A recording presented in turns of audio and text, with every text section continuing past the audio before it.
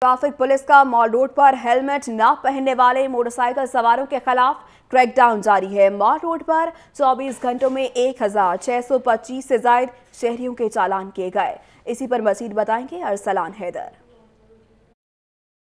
Motor cycle پر سوار، دوسری سواری کے لیے ہیلمٹ کو لازمی قرار دے دیا گیا ہے۔ مال روڈ پر سفر کرنے والا کوئی بھی شہری جو کہ موٹر سائیکل پر مال روڈ پر سفر کرے گا، اگر اس کے ساتھ سیکنڈ سیٹر بیٹھا ہے تو اس کے لیے ہیلمٹ پہننا جو ہے وہ لازم قرار دے دیا گیا ہے۔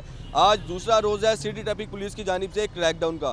مال روڈ پر مختلف مقامات پر ناکے لگائے گئے ہیں، چیکنگ پوائنٹس بنائے گئے ہیں، جہاں پر وارڈنس تمام جو شہری تھے جو موٹر سائیکل پر آ رہے ہیں اور ڈبل سواری کے اوپر جو ہے وہ سفر کر رہے ہیں، ان کو چیک کر رہے ہیں۔ اگر کسی نے ہیلمٹ نہیں پہنا تو ان کے چلان کاٹ رہے ہیں۔